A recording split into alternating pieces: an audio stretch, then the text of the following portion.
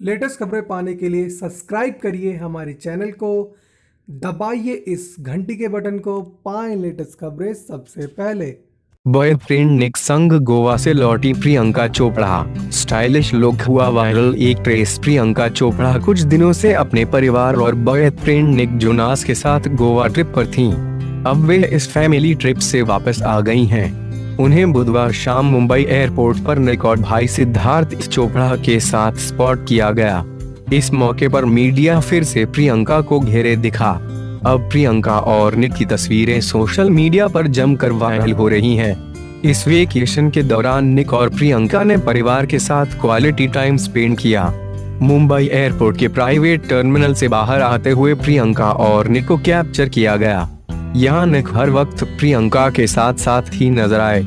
इस दौरान प्रियंका का लुक काफ़ी चर्चा में रहा। उन्होंने सफ़ेद टी शर्ट के साथ नीली डेनिम पहनी थी। उनका ये स्टाइलिश लुक खूब चर्चा बटोर रहा है। वहीं निक हमेशा की तरह कूल लुक में दिखे। उन्होंने काली और सफ़ेद हुड्डी और सफ़ेद पैंट पहनी थी। प्रियंका और निक एक साथ काफ़ी कंफर्टेबल नज़र आ रहे थे। दोनों साथ में एक ही कार में वापस आए।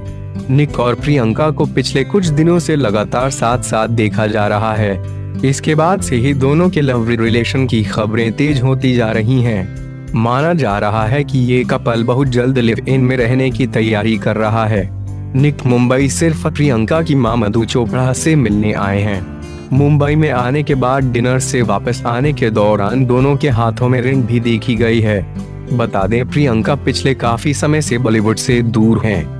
वह अब सलमान खान के साथ फ़िल्म भारत में नज़र आने वाली हैं। इस फ़िल्म में इन दोनों के अलावा यंग एक्ट्रेस दिशा पट्टानी भी होंगी